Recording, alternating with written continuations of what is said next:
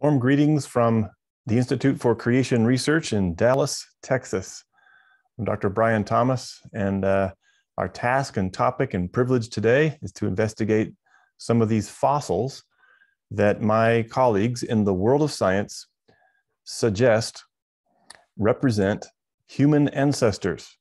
Um, and so we we conducted a survey, a friend of mine did, of 20 year old, roughly 20 year olds, saying, asking, Do you believe in evolution? Of course, 99 plus percent said yes. Second question, multiple choice. What led you to that conclusion, basically?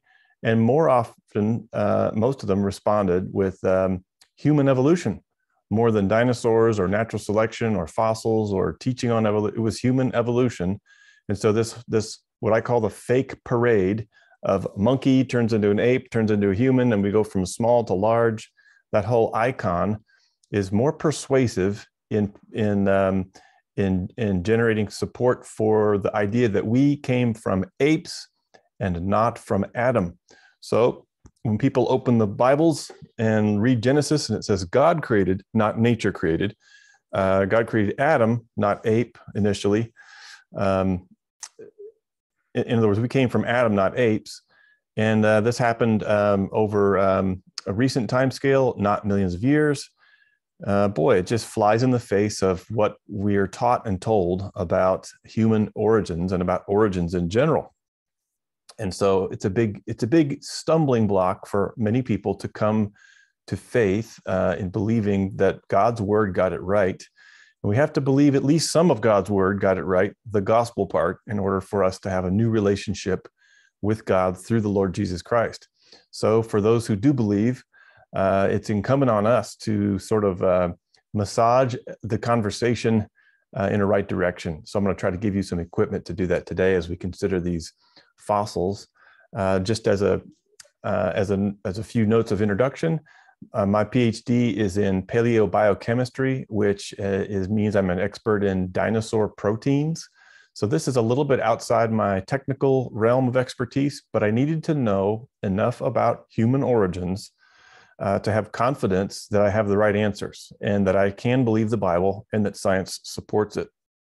Uh, and so I spent years uh, investigating uh, various fossil um, um, I guess, samples or examples. And I found several trends in my investigations. And I get to reveal at least one of those trends to you today. Uh, and it has to do with categories. The trend I found is that their same three categories capture all the supposed missing link fossils, or what some call pre human fossils or ape man fossils. It turns out that uh, the three categories capture all of them, and none of those three categories is friendly toward the evolutionary perspective. All of them are friendly toward the creationary or the biblical creation perspective. That's what I discovered. And so I did go from evolution to creation uh, personally as a result of uh, an honest evaluation and inspection of these different fossils. So let me just give you a snapshot of, of some of what I found uh, in that investigation, looking at these three categories. Uh, I got to share my screen, see if I can do this techno stuff. So there we are, Adam, not apes, three categories. And so to look at these three categories, um, we, we want to remember that it's really important. You know, Paul pinned the relevance of the gospel to the history that's found in Genesis. Paul the Apostle saying in First Corinthians, and so it is written, the first man, Adam, became a living being. The last Adam became a life giving spirit. He's likening the reality of the last Adam, who is the Lord Jesus, to the reality of the first Adam, who was a type of the last Adam. And so, if that's, I mean, that's why we have a skeptical Western world that says, well, wait a minute, this Jesus stuff is silly because we know science has proven we didn't come from Adam. So, what do we say to that? And today we're going to try to give you some clues and directions to go with conversations. This is important. It's um, it's not um, it's not a gospel issue directly, but it's a clarity of the gospel issue. And it and so it um, So we need to be we need to be equipped, I think, with some kind of answers uh, with folks who object to the gospel on the basis of this idea that science has proven that Adam was not in our past. Actually, science supports the idea that Adam was in our past. We're going to look at some of that science today.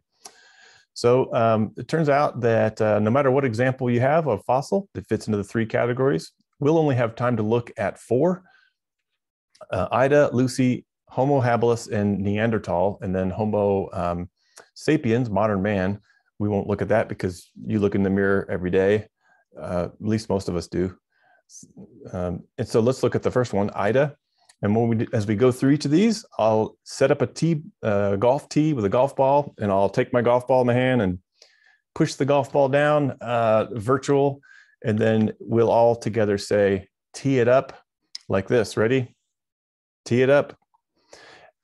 At that point, I'm going to talk about what the uh, the mainstream scientists and um, news people say about this particular fossil. Then we'll talk about the fossil, and then we get to knock it out. So I'll swing my golf club and together say, knock it out. Ready? Knock it out. Can you hear yourselves? Are you participating? If so, A plus already. Okay, so let's tee it up with Ida. Came out in 2009 in the spring, and oh, they had this big National Geographic special showing that you know this new find is extraordinary. It's a missing link in human evolution, and it shows our connection with all the rest of the mammals, says Sir David Attenborough. And after all, he wears a white lab coat and has a great accent, so he can't be wrong. The guy promoting it, uh, Hurum, he says this will be pictured in textbooks for the next hundred years. Well, this is what he found. This is a fossil. They're just showing part of it down there. It turns out that the unique leg construction of this fossil resembles the unique leg construction of an animal still alive today called a lemur. So other scientists looked at the fossil, compared it to lemurs, and said, uh, it's a dead lemur. So they don't stand to gain fame, funding, and fortune from promoting a fossil. So they're free to say, no, it's not a missing link. So that same fall, so that fall, that same year, they came out and uh, they didn't have a National Geographic special promoting their refutation of Ida as a missing link, but nevertheless, they refuted Ida as a missing link. So we get to knock it out. In fact, we don't have to do it. We don't have to get a PhD in paleoanthropology to knock it out. We just let them do it themselves because it turns out here's another trend I found for every evolutionary proponent who says says this fossil represents uh, a, a, human ancestor. Uh, there's another evolutionist who says no, it doesn't. So that's certainly the case uh, with with Ida. So that's the first example, and it gives us our first category. It fits into our first category, which is just animal, like ape, like dead ape. So this is a dead animal. So because there's a dead animal in the ground, uh, does that mean that uh, Adam wasn't real? No. Uh, there's a dead animal. So what? Uh, animals die. Uh, death has been part of the, the curse, the enemy, you know, of creation since Genesis chapter three, and uh, so death is part of the picture here. It's not a, it's not a permanent part of the picture. It's an intruder, and God's going to erase it one day, according to the scripture. That's really good news. Well, let's look at our next example Lucy. Lucy, very, very famous, probably the most famous. So we get to tee it up. Here's what they said about Lucy in 1970, I think six when it was first published and described um, again in Natural, National Geographic. Um, Donald Johanson, he to this day says this is, represents our human ancestry. We evolved from Lucy. The, he said originally, and his colleagues, that it had a lumbar curve. Uh, so that's that's the curve that only humans have. Apes have a C-shaped spine. Humans have an S-shaped spine because of that lumbar curve, lower uh, spine curve. Human-like pelvis, they said it had human-like knee, probably walked like a man. Human-like foot. Um, as are, those are the claims that were made. Okay, but let's look at the real Lucy. But to do that, we need to consider some actual anatomy, anatomical differences between humans and uh, apes, including uh, especially chimps. So these scientists have attached um, markers on the bodies of these two, and that way they can compare uh, what's going on when they walk. You see, the chimp has hands for feet. It walks with a stiff back. Its knees point outward. Um, in contrast with the human, our knees point straight. We have a, a, a flexible spine so that as we take a left foot forward, your right shoulder goes forward so that your spine uh, winds up uh, like a spring every step. That's why we can do marathons and animals cannot. Uh, they're good at sprinting. Chimpanzees are good at tree climbing. So they have a stiff spine, not a flexible one. So when it takes a left foot forward, its left shoulder goes forward. So it's a very stiff, rigid uh, way of walking. Um, it's a knuckle walker, our chimps. And um, it, so it prefers to be on all fours and it's very stable in trees. So those are some differences. Now, what about Lucy? Which of these two categories best describes Lucy? Or is it really right in the middle between them? Well, the lumbar vertebrae that Lucy was supposed to have, you know, the fossil, the original one that uh, that Donald Johanson described, there's no lumbar vertebrae there. so this is really bad science, telling stories about um, body parts that don't even exist. I mean, science is supposed to be about fundamentally that which you can observe. There's nothing to observe. Uh, okay, the knee was found, the human, supposedly human knee, found deeper and hundreds of feet further away. So maybe it is a human knee, uh, you know, associated with the rest of these skeletal elements um, inappropriately. And then uh, it, Lucy had an ape-shaped inner ear. That's the organ of balance, which is oriented uh, so that the, the in apes it's oriented so that the the head is looking like this because they have their spine attaches to the back of their skulls. In humans, it's oriented like like this, our inner ear, so we can balance with our heads um, placed on top uh, of the spine. So that's all integrated uh, in humans. But Lucy had an ape-like inner ear. Uh, the pelvis was probably adjusted um, because it's you know fragmented bits, and so they had to glue them together. And they glued them together. Maybe some bias was involved in the final positioning that they decided to to form those uh, those pelvis parts into. And it had an ape-like big toe, which means Lucy had a uh, hands for feet. Now, subsequent fossils also showed it had a locking wrist mechanism, which knuckle walking apes have today. So Lucy was a knuckle walking ape with every part, every one of its eight parts, the legitimate parts, um, ape like. So uh, some friends of ours built a display anatomically accurate and correct of Lucy, wrapping it in fur like it may well have had, and it looks like a it looks like a chimp. Um, so it's perhaps an extinct kind of ape. But anyway, what is this? You know, it's an extinct ape, uh, and take it from the evolutionary community, not me. Um, I'm one of these crazy people who actually believes the Bible. I have a bias, unlike them, right? So Lucy's kind would have walked um, bent knee, a bent hip, bent knee, rather like a chimpanzee, not like a human at all. And so we're going to let uh, Lord Solly Zuckerman uh, um, conclude this for us, and we're going to knock it out. He's going to knock it out by saying they are just apes.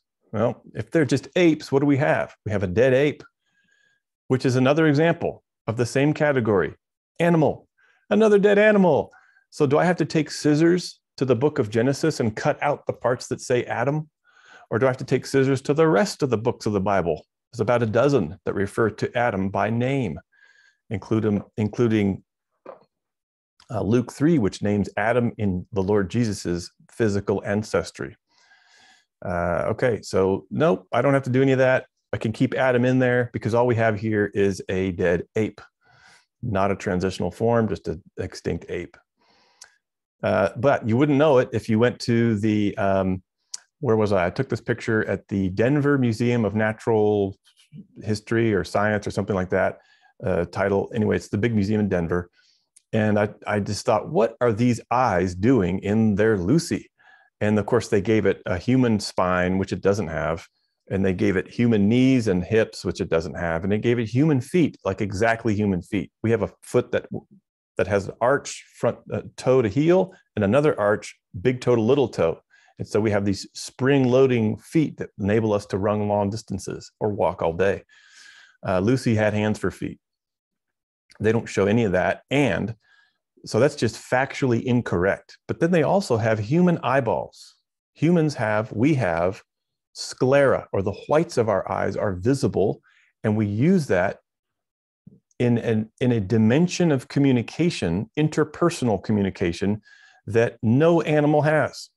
Even apes, they can't, I mean, they if they're looking at you, their whole face orients to toward uh, their focus of attention. Whereas I can turn my face, but still look with my eyes at you, and you can tell where I'm looking because you have software that um, interprets the positioning of my eyes within my skull and what that means to you. I can even, you know, roll my eyes. Oh, this professor's so boring.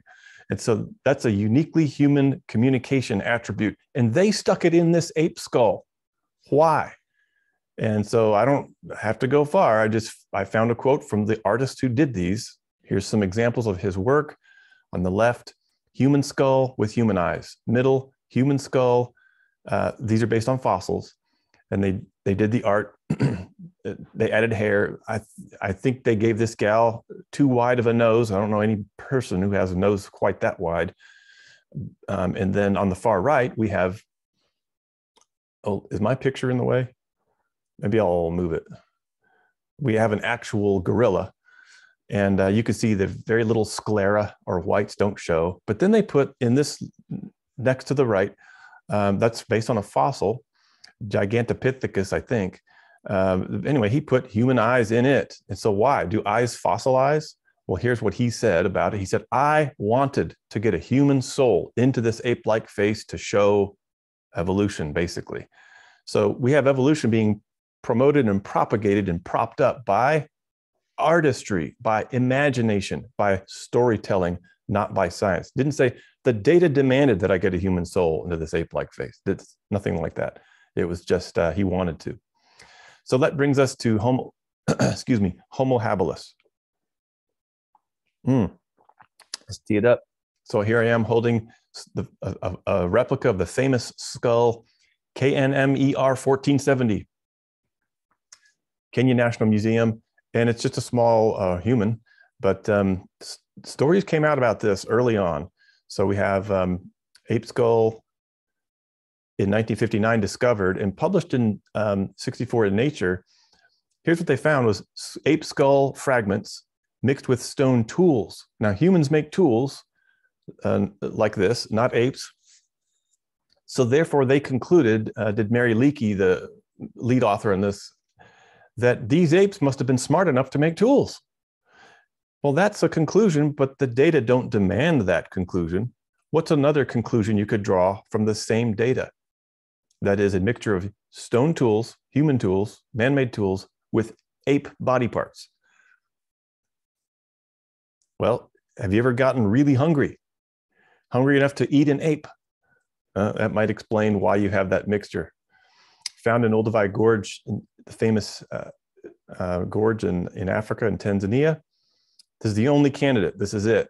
If, if we don't have Homo habilis, then all we have is apes, clearly, and humans, clearly humans. So you got to have something in between. And it turns out that the only aspect of Homo habilis that's in between is the imagined um, uh, intelligence that it had.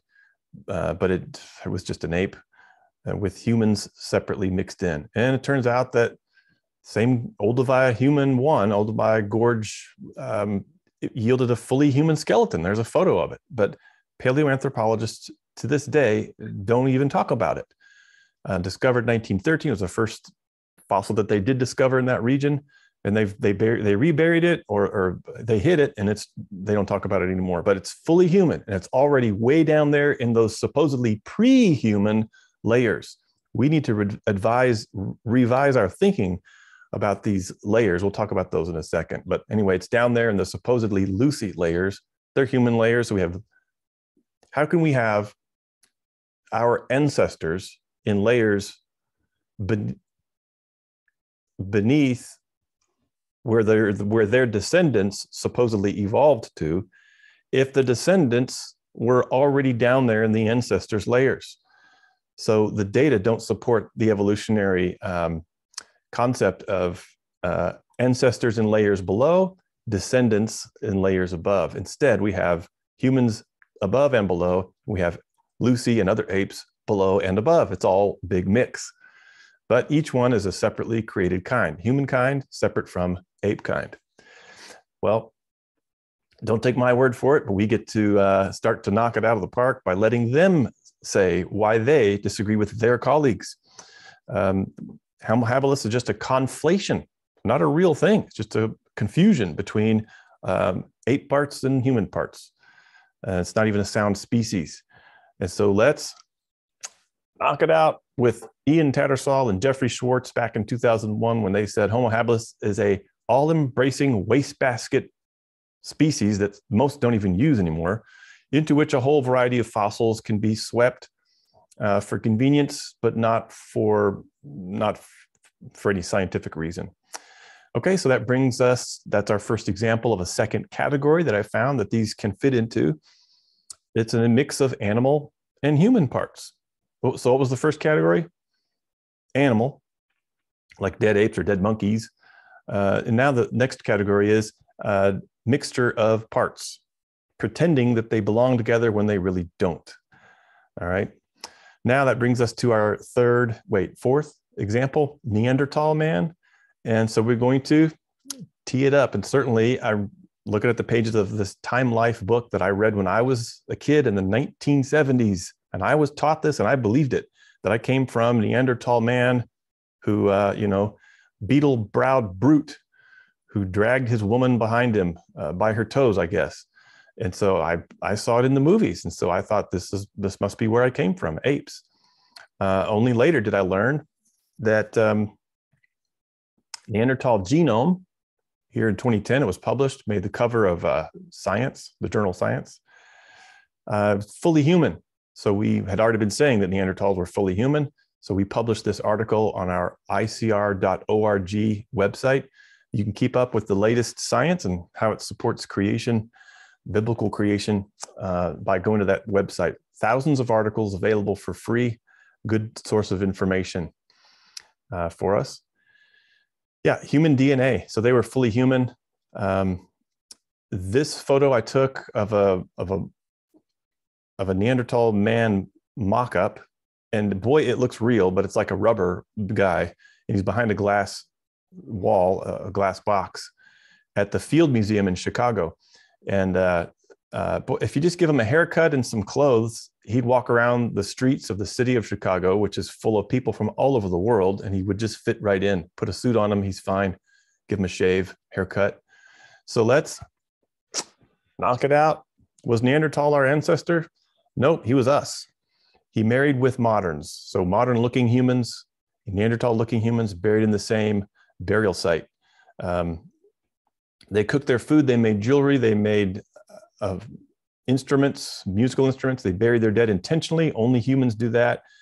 And of course, the say they have modern human DNA match. Okay, so that's the first example of many examples that fit into this third category humans. Okay, people died. Humans have died. Does that mean there was no Adam? Not at all. Just read on to Genesis chapter 3, and it says, Well, Adam, because you disobeyed and rebelled, there's going to be death now. And so death entered the scene as an intruder. The Lord Jesus promises to do away with death. In fact, that's why he died and then defeated death by rising again from death's a grave. And one day he's going to ultimately crush death. as the last enemy. Um, anyway, so, but because man's been dying doesn't mean that Adam didn't live. Um, in fact, it fits perfectly into the biblical uh, framework, doesn't it? Okay, so that's those are our three categories, and um, what we've learned along the way is that uh, this this icon of apes to man, small to large, showing evolution in lower rock layers on the left, more recent and upper rock layers on the right, something like that. that's not true at all. It's not accurate to the data. Instead, we might find human layers down and various apes, modern and extinct, in layers above. And it's a big mix mash. So, um, so that's what we found. And uh, that's just an icon. It's a story told, uh, it's just an illustration. So in this case, we have a whole discipline, a whole science, paleoanthropology, which is based on a story and not on actual data. So those are our three categories. Dead animals, here's some examples. Ida, Lucy, there's another Ardipithecus ramidus uh, that came out, I think, in 2010. Uh, two uh, uh, came out in the journal Science, just a dead ape. Okay, animals mixed with human. Homo habilis, some of those examples, some Homo habilis are just fully human, but some are mixtures and confusions.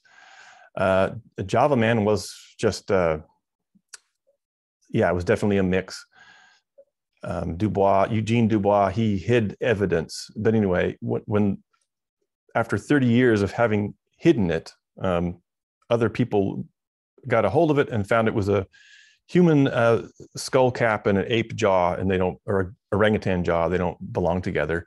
Found on the island of Java. It was all a fabrication, Piltdown fabrication, um, and then and then uh, cavemen. The whole idea of a caveman. You know what they were? Men who lived in caves. Uh, if you were having to disperse from the Tower of Babel and pioneer new lands, and you hadn't yet had time to build a house, you would live in a cave too. And that's what they did. And they left some of their remains there as they traveled across the earth after the tower. Um, human, fully human, Neanderthal, Homo erectus, fully human. Um, those features that typify Neanderthal, erectus, and what they call archaic hominids, or archaic Homo, uh, those features we can still find in many people alive today. And we don't call them primitive. Um, they just have sloping foreheads and strong brow ridges. Some people have that even today. So they're just people. And then some people were and are really small. Think of the Hobbit, nickname given to um, Homo floresiensis, a fossil found in the island of Flores, Flores Island in uh, Indonesia.